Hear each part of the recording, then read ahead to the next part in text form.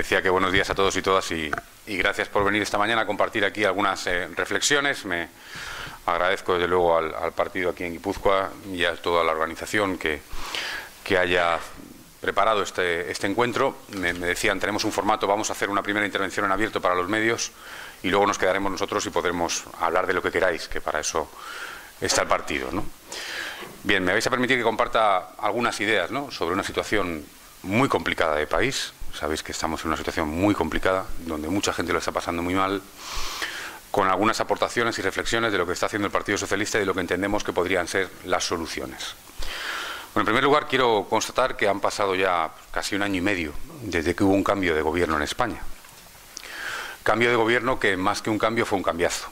Yo quiero recordar que Rajoy llegó a la Moncloa hablando básicamente de dos cosas. ¿no? La primera era aquella de cuando yo gobierne bajará el paro, decía Rajoy. Recordaréis alguna portada de algún medio de comunicación, se ponía en la cola del INEM una foto y decía cuando yo gobierne bajará el paro. Lamentablemente este país ha superado todos los récords de paro y hemos tenido una cifra de la encuesta de población activa que es dramática para este país, más de 6.200.000 parados. Por lo tanto, esta es la primera, ¿no? La segunda que se recuerda de Rajoy fue aquella que dijo toda la campaña de meteré la tijera a todo, decía Rajoy, meteré la tijera a todo, coma, menos a la sanidad, a la educación, a la dependencia. El problema es que no era una coma, era un punto. Era meteré la tijera a todo, punto.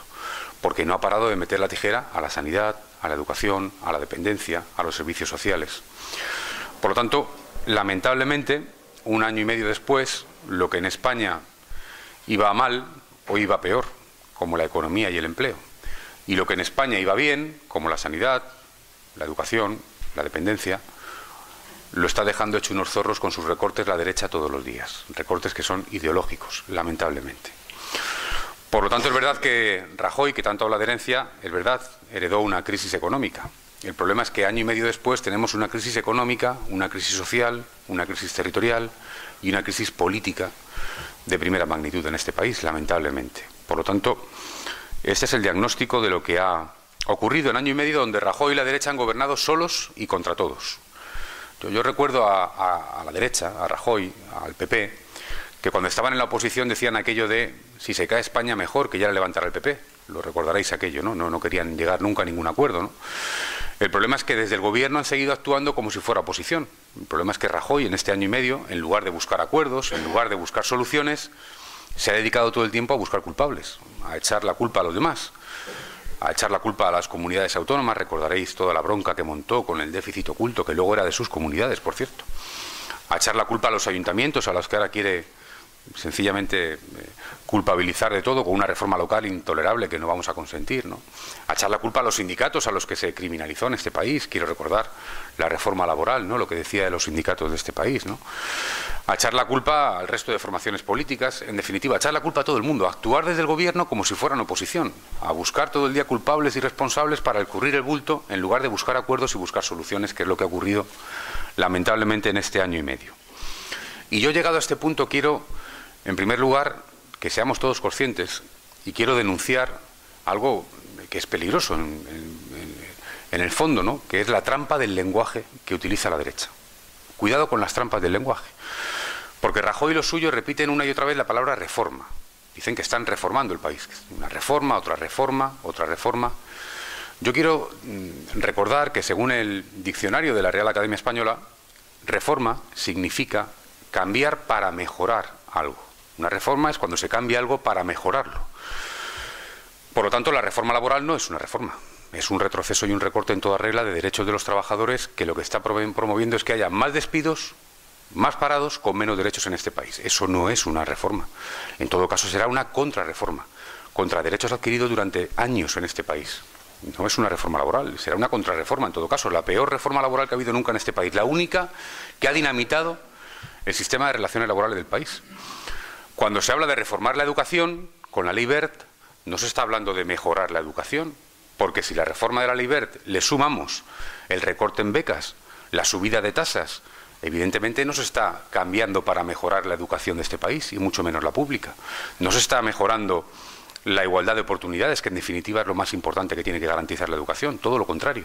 Es una, una vez más, una contrarreforma contra el sistema educativo de este país que había avanzado, como todos sabemos. Y desde aquí tenemos que subrayar que es verdad, lo digo por, por ir alimentando puntos de esperanza, ¿no? Es verdad que la presión política y la presión social, y el otro día la vimos todo en las calles de toda España, ha conseguido que el gobierno paralice la aprobación de la ley BERT. Y ahora tenemos que conseguir todos que retire la ley BERT y que no se apruebe esa ley, que es un retroceso y una contrarreforma en toda regla contra la educación de este país. Cuando se habla, y ya sabéis la que tienen montada, de reformar la ley del aborto, no están hablando de cambiar nada para mejorar, sino una vez más de retroceder muchos años en los derechos conquistados por las mujeres de este país, con mucha lucha y con mucho sufrimiento, con dos reformas, que esas sí fueron reformas de gobiernos socialistas que avanzaron en derechos para las mujeres. Por lo tanto, no es una reforma. Una vez más, estamos hablando de una contrarreforma, de un retroceso en derechos.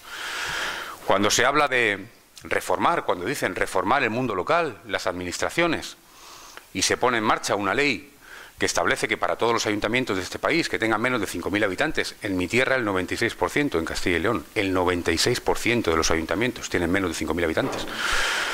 Y se les quita, por supuesto, toda la autonomía municipal, pero lo que es peor, se les dice que se van a privatizar o suprimir servicios públicos, porque eso es lo que encubre la reforma local del Partido Popular, no se está reformando para mejorar la administración local. Una vez más, estamos retrocediendo en lo que era no ya la autonomía municipal, que podéis decir es una cosa más política, no, no, en servicios públicos que se prestan en pequeños ayuntamientos, y lo dice alguien que viene de una tierra donde se recortan centros educativos rurales o se recortan urgencias médicas nocturnas en pueblos de este país que habían conseguido tener servicios después de muchos años. Por lo tanto, una vez más, una contrarreforma que no una reforma o un avance. Primera advertencia, las trampas del lenguaje el Partido Popular no está en un proceso de reforma de este país, está en un proceso de contrarreforma profunda contra lo construido durante 30 años en este país, entre todos, partidos políticos, sindicatos, ciudadanos, asociaciones, entre todos, sí, pero con leyes socialistas, siempre con leyes socialistas, porque cuando las mareas salen a la calle, las mareas blancas y verdes y las plataformas y los colectivos a defender la sanidad pública, o la educación pública o los servicios sociales están defendiendo algo que hemos levantado entre todos en este país. Entre todos, sí, pero con leyes socialistas. Porque fueron leyes socialistas las que levantaron la sanidad pública, la educación pública, el sistema de pensiones o la dependencia. Por lo tanto, primera advertencia. Segunda advertencia. El Partido Popular está instalando un discurso que entre todos tenemos que conseguir combatir. Sencillo porque consiguen a, al final van haciendo que cale, y yo creo que tenemos que combatirlo ya, que es aquel de, en primer lugar, la herencia, los socialistas lo dejaron muy mal, en segundo lugar, no hay alternativa, porque al fin y al cabo no queda más que recortar y recortar porque no hay recursos, y ya viene la tercera parte, que es la perfección del razonamiento, claro, que encima le acompañan otros en eso, que es aquella de, al fin y al cabo, PP y PSOE son lo mismo. Y contra eso tenemos que rebelarnos, porque no es verdad.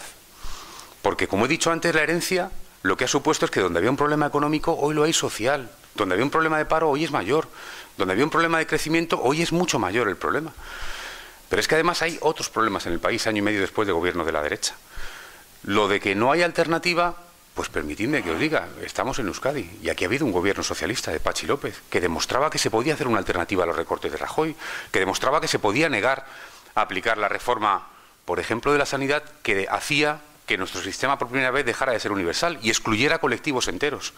Por lo tanto, claro que hay alternativas, las demuestra todos los días, las demostró Pachi López en Euskadi, las demuestra todos los días Griñán o Javier Fernández en Asturias, con alternativas diferentes, con políticas diferentes, que tratan de preservar los servicios públicos y de hacer políticas de crecimiento. Claro que hay alternativas. Y la tercera ya, aquella de que PP y PSOE son lo mismo, pues ¿cómo va a ser lo mismo el que levanta un edificio que el que lo destruye? No puede ser lo mismo. No puede ser lo mismo una fuerza política que en su día levantó el estado del bienestar en este país y todos sus pilares y la educación pública y la sanidad pública con uno que sencillamente lo está desmantelando. No pueden ser lo mismo, son justo lo contrario. Lo, es justo lo que está enfrente. Por lo tanto, yo creo que todos tenemos que estar eh, prevenidos de esto. A partir de ahí, un punto de partida, ¿no? Porque en los últimos están pasando muchas cosas en este país, pero en los últimos 15 días pasaron muchas cosas y quiero arrancar de esa cifra de la EPA dramática, ¿no? Donde conocemos que hay más de 6.200.000 parados en este país y esa tiene que ser la única y la máxima prioridad de toda formación política y desde luego del Partido Socialista. Y después de conocer que había más de 6.200.000 parados, el Gobierno de España nos dijo dos cosas, porque la cifra de la EPA salió y hubo un Consejo de Ministros que nos dijo dos cosas. La primera dijo Rajoy, paciencia. Paciencia. Esto es lo que tenía que decir el Gobierno de España. Paciencia. La segunda, presentar sus previsiones económicas para toda la legislatura y decirnos que, según el Gobierno de España, no según los sindicatos, no según el PSOE, según el Gobierno de España, la legislatura acabará con más parados de los que empezó. Y esto es dramático, porque esto ya es sencillamente la negación de la política. Esto es que un gobierno actúe ya de comentarista político, de mero gestor, sin tener un proyecto político para ese país, o reconociendo públicamente que será una legislatura perdida.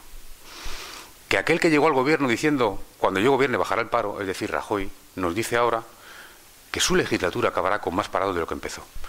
Y contra eso no podemos quedarnos cruzados de brazos. Tenemos que rebelarnos contra esta situación es que después de haber visto la cifra de la EPA, es que después de haber visto al Gobierno de España decir eso, hemos visto un CIS, una encuesta del Centro de Investigaciones Sociológicas de este país, que más allá de intención de voto, y luego hablamos si queréis de eso, lo que dice es que según el 90% de los españoles, el 90% de los españoles, la economía española va mal. Que según el 63% de los españoles, el 63%, la economía va peor que hace un año. Y lo que es peor, que es ante lo que tenemos que rebelarnos y movernos, es que según el 85% de los españoles, el 85%, la economía irá peor el año que viene. Por lo tanto, un clima de desesperanza, un clima de absoluta falta de, todo, que ha generado este gobierno un año y medio, como digo, con este discurso de que no hay alternativa, de que no se puede hacer otra cosa y de que al fin y al cabo la legislatura acabará peor de lo que empezó. Por lo tanto, vamos a nosotros, vamos al PSOE. ¿Qué puede y qué debe hacer el PSOE? Pues desde luego hacer oposición como estamos haciendo. Y quiero recordar que desde que pasamos a la oposición no hemos parado de dar alternativas a todo lo que ha puesto encima de la mesa el Partido Popular, a todo. Es más, hemos hecho autocrítica y hemos incluso corregido posiciones que el partido tuvo desde el gobierno, lo hemos hecho. Por ejemplo, en los desahucios. Por ejemplo, lo hemos hecho. O, por ejemplo, denunciar al Gobierno en el Tribunal Constitucional cada vez que ha puesto en marcha una reforma como la reforma laboral, que no es una reforma, es una contrarreforma, acudiendo permanentemente al Tribunal Constitucional recientemente para ganar, por ejemplo, contra la privatización de la sanidad pública madrileña. Por ejemplo. Por lo tanto, actuar. Actuar. En segundo lugar, estamos en la elaboración de una alternativa. De una alternativa porque el momento es especial. Porque no es solo la crisis. Es que la crisis, como he dicho, ha derivado también en una crisis política, una crisis de confianza en las instituciones, en la propia política, en los partidos. Y por lo tanto el Partido Socialista está promoviendo un proceso de reforma, ese sí, reforma en profundidad, de reforma económica, de reforma del modelo fiscal, de reforma política, administrativa, de los partidos y del PSOE también. Reforma, eso sí que es reforma. Y por lo tanto estamos dando alternativas, alternativas para generar cambios. Cambios que en primer lugar tienen que pasar por Europa. Y yo quiero destacar que empieza a haber señales de esperanza. Yo siempre he dicho que los libros de economía dirán en el futuro que Europa se equivocó, que Europa se equivocó en el tratamiento y en la dosis, que la austeridad a ultranza, o lo que llaman algunos el austericidio, es incompatible con la recuperación económica. Que incluso para aquellos neoliberales o, conservadores que defienden que el único objetivo del mundo es acabar con el déficit, el recorte sobre el recorte tampoco sirve para acabar con el déficit, porque como bien sabéis las administraciones tienen un problema de ingresos y que los ingresos no se recuperan si no hay recuperación económica. Y por lo tanto, los libros de historia dirán en el futuro que Europa se equivocó, que se equivocó en la dosis, que desde luego estas políticas de Merkel son incompatibles con la recuperación económica. ¿Que teníamos que tener una cierta estabilidad presupuestaria? Sí, claro, por supuesto. Después de haber tenido una caída de ingresos brutal, evidente. Ahora, que de ahí al austericidio en el que estamos metidos es sencillamente un suicidio, un suicidio, que no merece la pena, que Europa tiene que abrir los ojos, que, no tiene sentido que para que Alemania tenga un punto menos de inflación, España tenga 6 millones de parados. No tiene sentido esa Europa, no tiene sentido. Es más, se hablaba antes de las próximas elecciones al Parlamento Europeo y siempre hemos dicho los socialistas aquello de hace falta más Europa. Y ahora no. Ahora no decimos hace falta más Europa. Ahora decimos hace falta otra Europa. No más Europa, otra Europa es lo que hace falta. Y para eso vamos a trabajar. Y se decía antes, es muy importante las elecciones al Parlamento Europeo, y es verdad. Es en, la, en el Parlamento Europeo y en la Comisión Europea, desde luego en el Consejo, donde se juntan los gobiernos, donde se deciden cosas que nos afectan a todos. Por eso, por primera vez en la historia, todos los socialistas de toda Europa vamos a ir juntos a las elecciones al Parlamento Europeo. Todos juntos. Desde Dublín hasta Atenas. Desde Lisboa hasta Varsovia, todos los socialistas de toda Europa juntos a esas elecciones al Parlamento Europeo. ¿Y qué significa ir juntos? Significa que vamos a tener un candidato común a presidir la Comisión, en primer lugar. Común, de todos, de los 27 partidos socialistas de la, de la Unión Europea. Y que además vamos a tener un manifiesto, un programa común. Y cuando digo esto, digo, ojo, que es muy importante lo que estoy diciendo. Porque los socialistas de Alemania van a defender lo mismo que los socialistas de Irlanda, o de España, o de Francia. Y esto tenéis que explicarlo y lo tiene que escuchar la gente aquí en España. En las próximas elecciones al Parlamento Europeo habrá alguna otra formación nacional que diga, pero no van a tener importancia en el Parlamento Europeo. En el Parlamento Europeo el único freno, la única palanca de cambio, la única herramienta que va a hacer girar a Europa es que hay una mayoría socialista en el Parlamento Europeo y no de otras fuerzas, cuyo voto no servirá para este propósito común de hacer cambiar Europa. Solamente el Partido Socialista en España será garantía de que haya una mayoría progresista en Europa que haga girar Europa. Y como he dicho, vamos a ser capaces de tener ese manifiesto común. Y no es cosa menor, ¿eh? que un socialista alemán pueda defender lo mismo que un socialista irlandés, o español, o portugués. No es cosa menor. Programa que, por cierto, ya hemos acordado que tenga cuatro ejes de salida. En primer lugar, el rechazo a las políticas de austericidio que ha implantado Europa, en primer lugar. Y eso lo firman todos, ¿eh?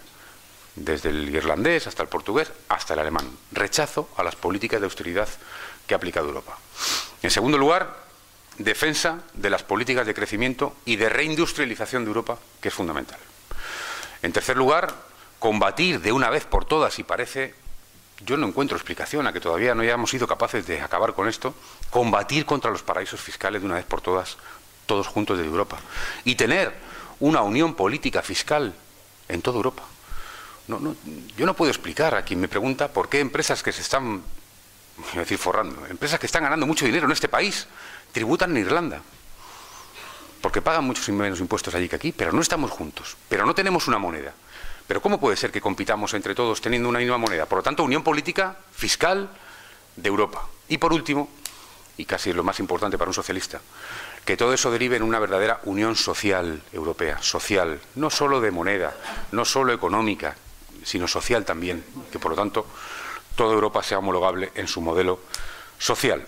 por lo tanto, elecciones importantes donde vamos a ir todos juntos, donde somos la alternativa y donde, como digo, tenemos que hacer girar a Europa y para eso solamente está el Partido Socialista en España y los partidos socialistas de toda Europa. Esos son cambios que promovemos para Europa, pero promovemos cambios también en España, porque en este país también se pueden hacer cosas y se deben hacer cosas. Y desde luego hemos hecho una propuesta que nunca hizo este partido, la más ambiciosa que ha hecho nunca de reforma fiscal. Yo recuerdo a este partido debatiendo durante años sobre el IRPF, sobre si tenía que tener un tipo o dos tipos, o el tipo único, o no sé cuántos tipos. Nunca debatimos lo que hemos debatido ahora, que es meter mano donde está el dinero de verdad. Porque el IRPF es el que afecta a todos los trabajadores, pero todos sabemos que hay recursos en otros sitios. Y por tanto, esta es la alternativa fiscal que está planteando el PSOE. Ahora sí, entrar ahí. Claro que sí que hay que entrar ahí. Claro que no podemos consentir que este país tenga una presión fiscal o un fraude fiscal, y no me quiero referir ya a la amnistía del PP, que es incompatible con un estado de bienestar como el nuestro avanzado. Por lo tanto, reforma fiscal en profundidad, sí.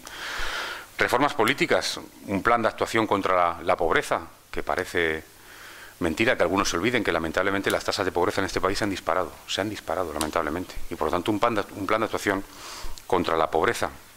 Todo eso está recogido en ese modelo alternativo que decía el secretario general y del que yo me quiero referir o quiero destacar a dos o tres asuntos para que lo tengamos todos en la cabeza y lo expliquemos porque me parece muy importante, sobre todo para los que dicen que no hay alternativas.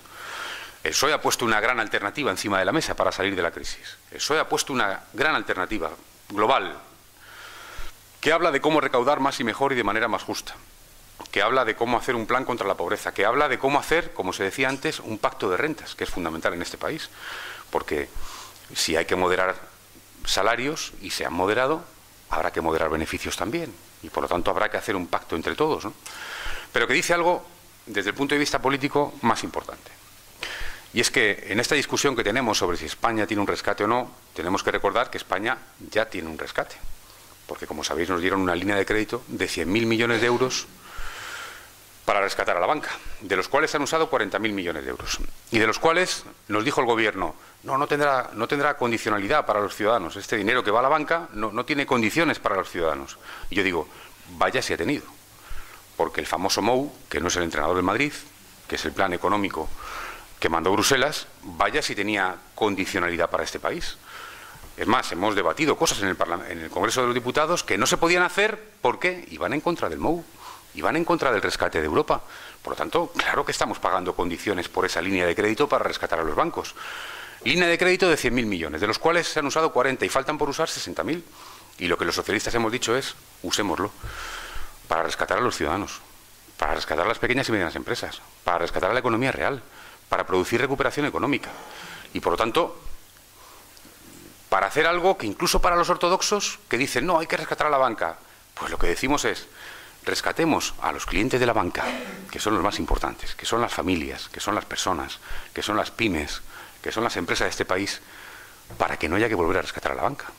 No vaya a ser que la falta de recuperación económica produzca, ya sabéis, todo esto de que lo que no es un activo tóxico hoy, mañana lo es, porque no hay recuperación, y tengamos que volver a inyectar dinero a la banca en el futuro. Por lo tanto, en vez de eso, cojamos ese dinero del cual ya hemos pagado la condicionalidad para inyectarlo donde interesa, a los ciudadanos, a las pymes, a las pequeñas y medianas empresas. Y nos dicen ahora, no es posible, no se puede hacer eso. Dicen los expertos que no se puede hacer. Y yo les digo, es lo mismo que nos decían cuando pedimos que se relajara el objetivo del déficit, lo mismo. Cuando pedimos que hubiera más margen, y este partido lo lleva defendiendo, y quiero recordar que Rubalcaba lo viene defendiendo desde el debate de campaña electoral, lo viene diciendo, hay que conseguir relajar el objetivo de déficit, hay que conseguir dos años más para cumplir. No hemos parado de defender eso. En España y en Europa, ¿eh? Así que Rubalcaba se ha pasado el día recorriendo Europa y estando con líderes de otros países para defender eso, que España necesitaba más margen para el déficit. Y ahora lo hemos conseguido. Ahora lo hemos conseguido. Lo que no era posible ha sido posible. Y esto que estamos planteando ahora también tiene que ser posible. Y quien no lo entienda hoy lo tiene que entender que un país como España necesita recuperación económica y que para eso hacen falta recursos públicos y que por lo tanto el PSOE ha puesto una propuesta seria encima de la mesa. Una propuesta y una alternativa global para salir de la crisis de una manera justa, conseguir ingresos y poder recuperar la economía. Y por último, y con esto ya acabo, en esa gran propuesta alternativa económica, donde, insisto, va un modelo fiscal, va un plan contra la pobreza, va la utilización de 30.000 millones de euros para inyectar dinero a las familias, a las pequeñas y medianas empresas, donde decimos de dónde sacarlo. Además de todo eso, va un pacto de rentas. Además de todo eso, va también una propuesta que ha funcionado en otros países, que es aquella de la moratoria de los despidos, que es aquella de conseguir llegar a un acuerdo con los empresarios y los sindicatos de este país para que en plena epicentro de la crisis no se produzcan más despidos, cosa que por cierto en otros países de Europa ha funcionado y ha evitado despidos. Por lo tanto, es un momento muy complicado, es muy difícil elaborar propuestas, pero este partido ha hecho una gran propuesta, una gran alternativa económica conjunta que dice no aquello que es fácil desde la oposición, de no, queremos más, no, no, hemos dicho de dónde recaudar, de dónde conseguir recursos, para qué emplearlos y además pidiendo que haya un gran acuerdo en este país, que es lo que no ha habido nunca hasta ahora, gobernando Rajoy, que haya un gran acuerdo, porque no puede haber otra prioridad que la recuperación económica y la creación de empleo. Y por lo tanto, esta es la alternativa que hemos planteado. Y por último, se decía antes, eh, nuestro secretario general, Alfredo Pérez Rubalcaba, siempre lo explica, dice que nos dedicamos a hacer alternativa, que nos dedicamos a hacer oposición.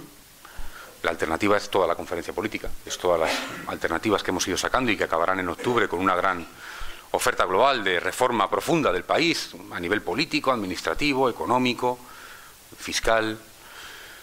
Y por último, el partido también, partido que también hay que una vez más intentar fortalecer, modernizar, renovar. Y para eso, como sabéis, también en la conferencia política hay toda una serie y una batería de propuestas sobre cómo modernizar este partido en un momento donde cómo lo va a pasar bien el PSOE si lo, más, si lo pasa mal el país. Siempre hemos dicho aquello de que este partido es el que más se parece a España, y es verdad. Y por lo tanto, este partido también quiere, necesita fortalecerse, reformas, y para eso también tenemos abierto ese debate. Este fin de semana tendremos una convención en Oviedo abierta, a la que estáis todos invitados para hacer una discusión de esta materia, y desde luego en octubre también acabaremos con esto. Acabaremos también con un proceso de reforma en profundidad también del partido, no solo de los demás, no solo de los partidos y de la política, no, también del PSOE. Porque ahora sí que acabo.